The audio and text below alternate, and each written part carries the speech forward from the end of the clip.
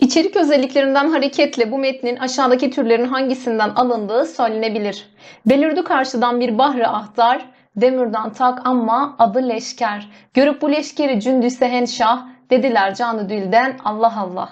Uru per pehlevan, bin türlü nara, bu ceş derler idi cemi bara. Livalar şefkıla etti kıyamı, kuşanda ışkıla bekler hüsamı. Feresler kişneyip onlar safadan, gaza bayını cün aldı sabadan. Şimdi arkadaşlar e, altın çizdiğim kelimelere dikkat lütfen. Allah, Ondan sonra gaza yine aynı şekilde. Bu sözcükler bizi nereye götürecektir? Gazavatname'ye götürecektir. Niçin? Çünkü gazavatname din uğruna yapılan savaşları anlatır. Cevabımız Adana şıkkı. Sakiname değil, şarapla alakalı. Elifname değil. Kıyafetname kişinin kıyafetlerinden e, kişilik özelliklerini bulmaya çalışan eserlerdir değil. Surname padişah çocuklarının, erkek çocuklarının sünnetlerini, kız çocuklarının düğünlerini konu alır. Bu da değil. Dediğim gibi cevabımız Adana. Numaralanmış özelliklerden hangisi divan nesrine ait değildir? Konudan çok konunun işlenişine önem verme doğru arkadaşlar. Arapça ve Farsça sözcük ve tamlamaların çokça e, çokça kullanıldığı ağır ve süslü bir dil tercih etme. Bu da doğru. Kullanılan uzun cümlelerle ahenkten uzaklaşan anlatıma devrik cümlelerle akıcılık kazandırır mı? Hayır arkadaşlar devrik cümle olmaz. Cevabımız 3. Süslü nesre yönelme noktalama işaretlerini kullanmama bu da doğru. Söz sanatlarına, mecazlara, secilere sıkça yer verme bu da doğru arkadaşlar. Cevabımız C şıkkı. Bu metnin parçası aşağıdaki edebi türlerin hangisinden alınmış olabilir? Ahdi, Bağdat'ta doğdu. Asıl adı Aşık Çelebi ve Riyazi'ye göre Mehdi, Ali'ye göre Ahmet'tir. Edebiyatımızda Adi Bağdadi olarak tanındı. Şemsi mahlasıyla şiirler söyleyen Şemsettin adında birinin oğludur. Öğrenimini tamamladıktan sonra Husref adlı şair arkadaşıyla birlikte 1552 tarihinde Osmanlı ülkesine gitmek üzere Bağdat'tan yola çıktı. Bu süre içerisinde Ahdi birçok yeri dolaştı ve pek çok şairle görüşüp tanışma fırsatı yakaladı.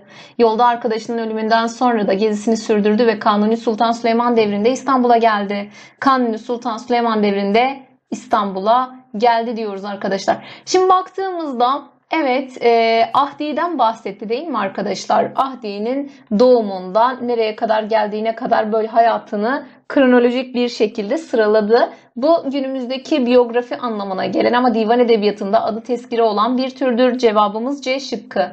Şehrengiz şehir güzelliklerini anlatır değil. Seyahatname gezi yazısıdır değil arkadaşlar. Sıhhatname e, bir devlet büyüğünün sağlığına kavuşması için yapılan dilekler, duaları anlatan eserler. Kıyafetname kişinin kıyafetinden kişilik özelliğini bulmaya çalışan eserlerdir. Cevabımız C.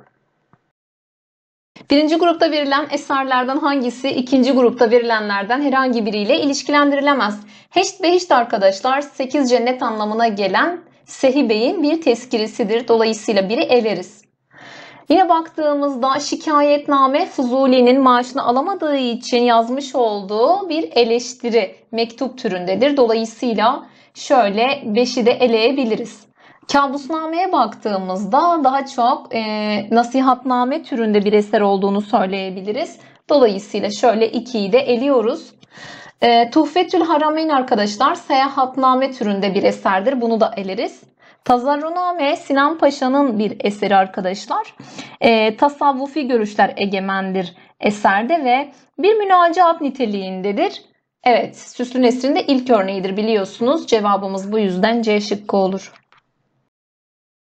Bu parçada boş bırakılan yerlere sırasıyla aşağıda verilenlerden hangisi getirilmelidir? Bir şeyleri öğretmek amacını taşımakla birlikte sanat yapma kaygısını daha ön planda tutan süslü nesirlere divan edebiyatında genellikle nokta nokta nokta. Bu arkadaşlar nesir olamaz. Zaten süslü nesirlere diyor. Nesirleri şöyle bir eleyelim. Belli ki başka bir adı var. Tutup süslü nesire nesir denmez. Bunu eledik. Bunlara yazanlara, bunları yazanlara nokta nokta nokta tamam. Bunların toplandığı eserlere de münşiat. Arkadaşlar bunların toplandığı eserlere münşiat adını kesinlikle veririz. Şunları şöyle elediğimizde münşiat. Yazanlara münşi, o zaman süslü nesirleri divan edebiyatında da inşa adı verilir. Cevabımız Edirne şıkkı olur. Aşağıdakilerden hangisi divan edebiyatının asirlerinden biri değildir diyor arkadaşlar. Günümüzde düz yazı terimiyle karşıladığımız nesir sözcüğü aslında yaymak, saçmak, dağıtmak demektir. Eskiden nesir yazarlarına nesir yazan, nesir ustası anlamında Nasir denirdi. Şimdi arkadaşlar baktığımızda Latifi 16. yüzyıl nesir yazarlarındandır. Bunu eleyebiliriz. Sinan Paşa'ya baktığımızda Süslü Nesrin zaten ilk temsilcisi sayılır. Tazarunamesi var biliyorsunuz. Önemli bunu da eleyebiliriz yine aynı şekilde. Nergisi'ye baktığımızda arkadaşlar Nihilistan adlı eseriyle yine Süslü Nesrin temsilcilerindendir. Naima e, önemli bir tarihçi yine Nesir temsilcisi arkadaşlar. E, Aşık Paşa bunlardan biri değil. Cevabımız Adana şıkkı. Bu eserlerden hangileri aynı yazınsal türe aittir? Mecalisün Nefais arkadaşlar, nefislerin meclisi anlamına gelen ve Türk Edebiyatı'nın ilk şairler tezkiresidir biliyorsunuz. Alişir Nevai yazdı. Dolayısıyla bu bizim için bir tezkiredir.